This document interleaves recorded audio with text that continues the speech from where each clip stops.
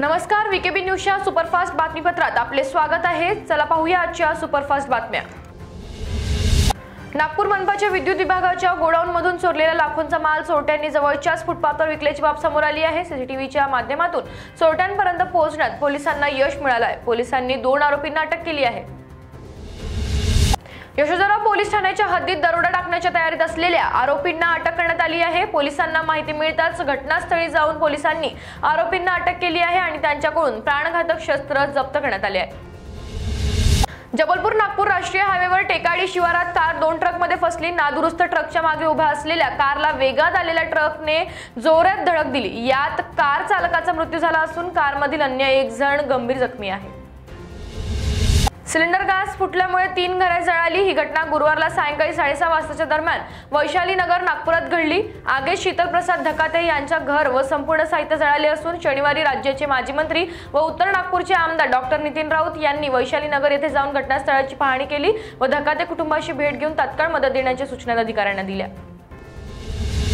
विदर्भातील कृषी परिवर्तनाचे महत्त्वाचे माध्यम ठरत असलेले मध्य भारतातील सर्वात मोठे कृषी प्रदर्शन अॅग्रोव्हिजन येत्या चोवीस ते सत्तावीस नोव्हेंबर दोन हजार तेवीस दरम्यान पीडीकेव्ही ग्राउंड दाभा नागपूर येथे आयोजित करण्यात आले आहे. अशी माहिती केंद्रीय रस्ते वाहतूक आणि महामार्ग मंत्री नितीन गडकरी यांनी नागपूर येथे आयोजित पत्रकार परिषदेत दिली. भरडधान्याच्या पाककृती या लोकांच्या पसंतीस उतराव्यात यासाठी भरडधान्यांच्या पोषक मूल्यांच्या महत्त्वाच्या सोबतच या खाद्य उत्पादनाच्या पाककृतीची चव चांगली व्हावी याकरिता संशोधन संस्थांनी परस्पर समन्वय साधून प्रयत्न करणे आवश्यक आहे असे आवाहन केंद्रीय मंत्री नितीन गडकरी यांनी आज शनिवारी श्री आयुर्वेद महाविद्यालयात केले.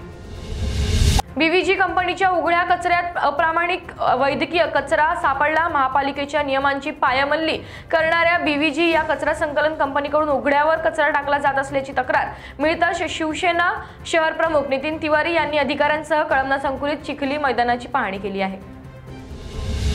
Urban mobility India U M I परिषदेच्या सोळाव्या आवृत्तीचे शनिवारी दिल्ली येथे उद्घाटन झाले. या राष्ट्रीय परिषदेच्या अंतर्गत शनिवारी महामेट्रो स्टॉलचे उद्घाटन करण्यात आले.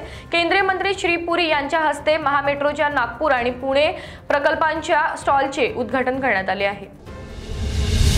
आज शनिवारी मध्यरात्री या वर्षाचे शेवटचे चंद्रग्रहण होणार आहे. भारतातून रात्री एक वाजून पाच मिनिटापासून दोन वाजून बावीस मिनिटापर्यंत खंडग्रास चंद्रग्रहण पाहण्याची संधी मिळणार आहे. हे ग्रहण भारतासहित आशिया आफ्रिका युरोप दक्षिण अमेरिका ऑस्ट्रेलिया खंडातून दिसेल. एक जानेवारी दोन हजार चोवीस या आहर्ता दिनांकावर आधारित मतदार यादीच्या संक्षिप्त पुनरीक्षण कार्यक्रमांतर्गत प्रारूप मतदार यादी आज शनिवारी प्रसिद्ध करण्यात आली. यात जिल्ह्यात सत्तावन्न हजार चौतीस मतदारांची तर दहा मतदार केंद्राची वाढ झाली असल्याची माहिती जिल्हाधिकारी डॉक्टर विपिन इटनकर यांनी पत्रकार परिषदेत दिली. तर आजच्या सुपरफास्ट बातमीपत्रात फक्त एवढंच. उद्या पुन्हा भेटूया. नमस्कार.